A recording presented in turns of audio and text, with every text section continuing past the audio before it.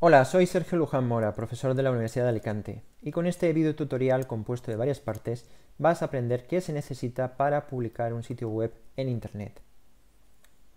En la parte anterior de este video tutorial vimos qué es un alojamiento y los diferentes tipos de alojamiento que existen. En esta segunda parte vamos a ver los alojamientos de pago y en concreto los principales criterios a tener en cuenta cuando se quiere seleccionar un plan de alojamiento. Estos criterios son la calidad, que la empresa cumpla lo que hemos contratado y que resuelva los problemas que tengamos rápidamente, el sistema operativo que emplea el servidor web, el espacio de almacenamiento que proporciona, los límites mensuales para la transferencia de datos, la velocidad de transferencia máxima que podemos tener, los lenguajes de programación web que permite emplear, si permite crear bases de datos y cuántas, si emite múltiples dominios y subdominios, otros, como el número de cuentas de correo que se pueden crear o si proporciona plantillas para crear el sitio web. Y por último, claro está, el precio. En esta parte de este video tutorial vamos a ver los primeros cuatro criterios y en la siguiente parte estudiaremos los seis últimos. Respecto a la calidad, es difícil de evaluarla sin haber probado antes el servicio. La calidad se puede resumir en que la empresa cumpla lo que hemos contratado, que resuelva los problemas que tengamos y que nos ofrezca la máxima disponibilidad y fiabilidad. Es decir, que el servidor web donde esté alojado nuestro sitio web no esté apagado o tenga problemas de conectividad frecuentemente.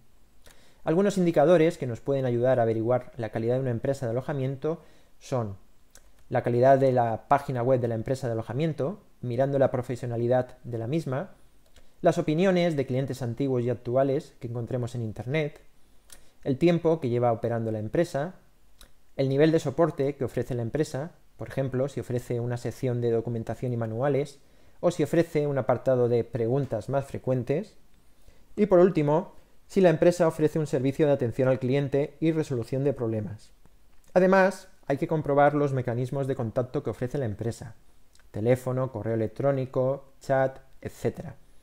Un parámetro importante es el tiempo de respuesta, pero esto también es difícil de conocer a priori, a no ser que nos lo garanticen por escrito en el contrato del servicio. El sistema operativo, en inglés Operating System, es el software que efectúa la gestión de los procesos básicos de un ordenador y permite la normal ejecución del resto del software que se quiere emplear. Los dos sistemas operativos que normalmente vamos a encontrar en los planes de alojamiento son, por un lado, Linux y por otro, Windows. Normalmente, aunque no es obligatorio que sea así, cuando elegimos Linux tendremos como servidor web Apache y cuando elijamos Windows tendremos como servidor web Internet Information Server. La decisión de qué sistema operativo elegir depende principalmente del lenguaje de programación y de los servicios adicionales que queramos utilizar. Elegiremos Linux cuando queramos utilizar los lenguajes de programación PHP, Python, Perl o JSP y la base de datos MySQL o PostgreSQL. Elegiremos Windows cuando queramos utilizar los lenguajes de programación ASP o ASP.NET y la base de datos Access o SQL Server. Normalmente, un alojamiento en Linux es más barato que en Windows, ya que la empresa de alojamiento se ahorra la licencia del sistema operativo. También suele ser más barato porque hay mejores herramientas para la administración de servidores Linux lo cual abarata el coste de administración. Como podemos ver en las ofertas de esta empresa de alojamiento, los planes basados en Linux son más baratos que los planes basados en Windows, siendo el ahorro de un 30% en el caso del plan más caro. El almacenamiento, también llamado espacio web o espacio en disco, es el espacio del sistema de archivos del servidor que nos ofrece la empresa de alojamiento para almacenar nuestro sitio web. En inglés se suele llamar disk space, disk storage o hosting space. Se mide en megabytes o gigabytes y en la actualidad suele empezar a partir de un gigabyte. El espacio web suele ser un cebo para atraer clientes. A veces se ofrecen tamaños muy grandes, para que el cliente piense que cuantos más megabytes de espacio será mucho mejor. Sin embargo, para la empresa de alojamiento, el almacenamiento en el servidor es lo más irrelevante y económico, por lo que un espacio web muy grande no implica obligatoriamente que la empresa de alojamiento sea buena. En algunos planes de alojamiento nos pueden penalizar si superamos el límite de almacenamiento fijado. Por ejemplo, en este plan de alojamiento nos ofrecen 200 megas de espacio en disco. Si superamos ese espacio, nos cobrarán 0,5 euros mes por cada megabyte de exceso.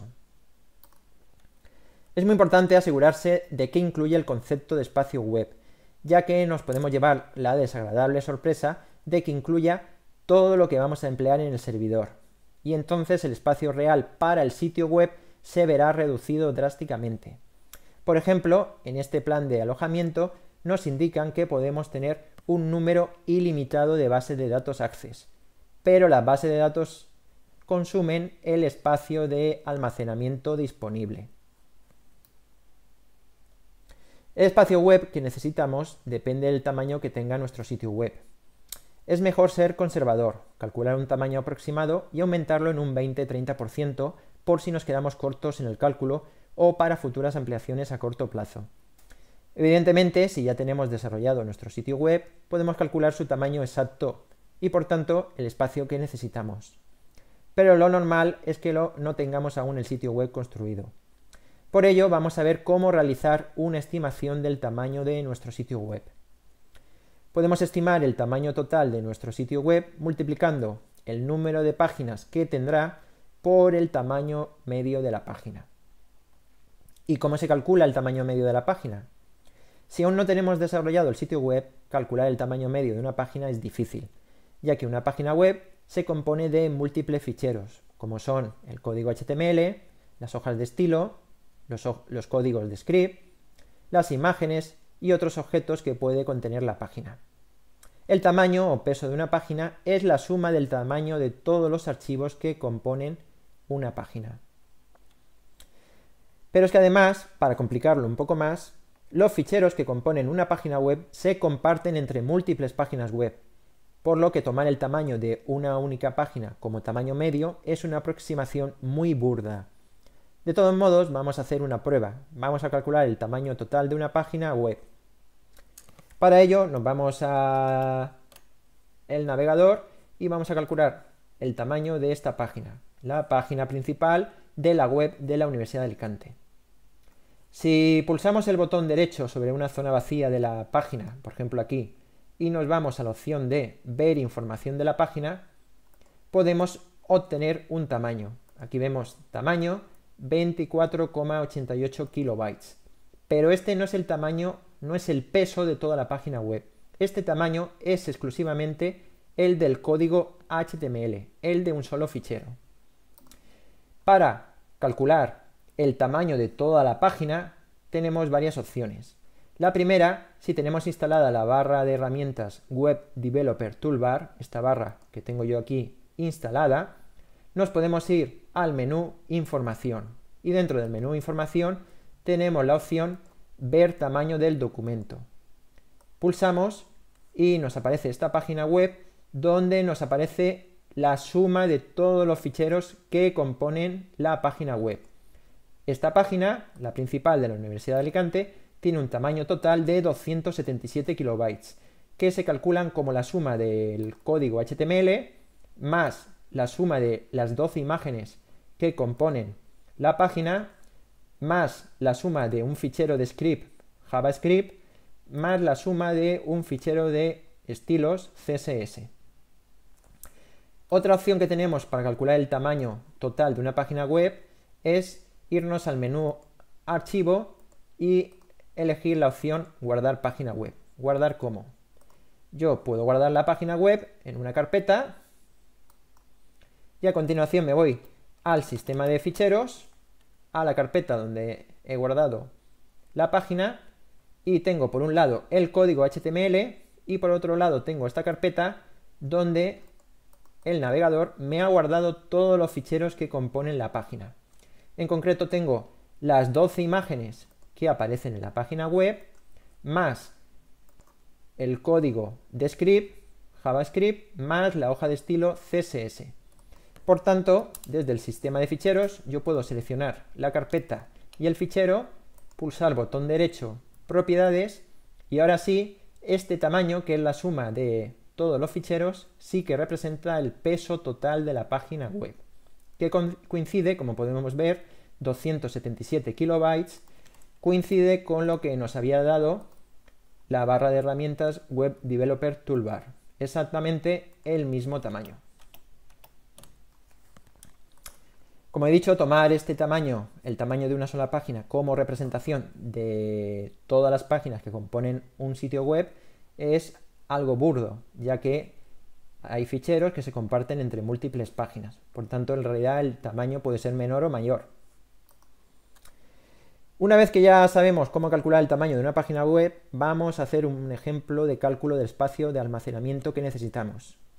Supongamos que nuestro sitio web tiene alrededor de 100 páginas y hemos calculado que el tamaño medio de una página web es de 250 kilobytes. Por tanto, nuestro sitio web ocupa en total unos 25.000 kilobytes, 250 por 100, que son aproximadamente 24 megabytes. Por tanto, un gigabyte, que es el mínimo que suelen ofrecer la mayoría de las empresas de alojamiento en la actualidad, es más que suficiente para el sitio web de nuestro ejemplo. La transferencia, también llamada volumen de transferencia o tráfico, contabiliza el total de datos enviados en un periodo de tiempo. En inglés se llama file o site transfer. Normalmente se mide en gigabytes mes y en la actualidad suelen empezar a partir de un gigabyte mes.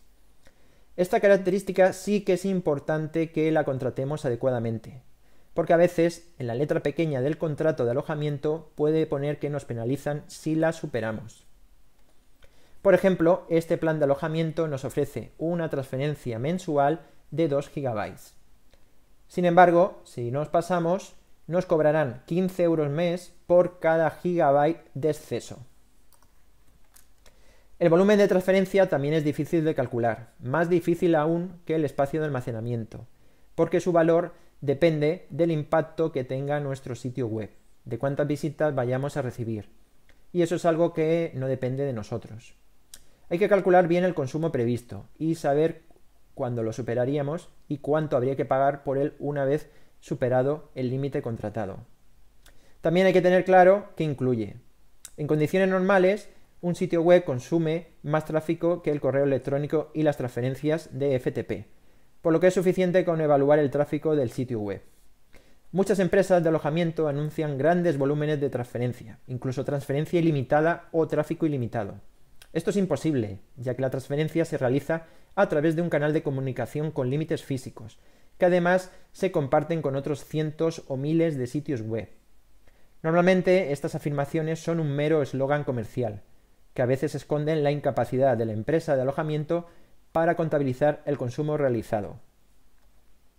El volumen de transferencia que necesitamos depende del tamaño que tenga nuestro sitio web y del número de visitas que tengamos. Vamos a ver cómo realizar una estimación del volumen de transferencia de nuestro sitio web.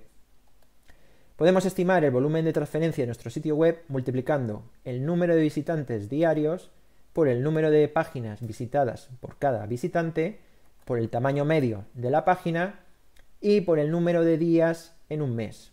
Usamos 30 por simplificar. Vamos a hacer un ejemplo de cálculo del volumen de transferencia que necesitamos. Supongamos que nuestro sitio web recibe alrededor de 100 visitantes al día. Cada visitante visita 5 páginas y hemos calculado que el tamaño medio de una página es de 250 kilobytes. Por tanto, en un día nuestro sitio web tiene un volumen de transferencia de unos 125.000 kilobytes, que son aproximadamente 122 megabytes.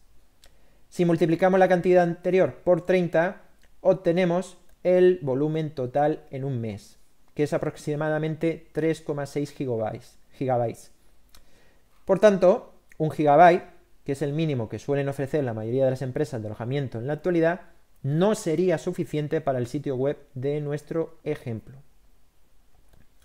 Y con esto finaliza esta parte de este video tutorial en el que hemos visto los cuatro primeros criterios para elegir un plan de alojamiento. Si necesitas más información o quieres contactar conmigo, en la página web http desarrollo UAS podrás encontrar más información sobre el desarrollo web. O también puedes contactar directamente conmigo a través de mi dirección de correo electrónico sergio.lujan.ua.es.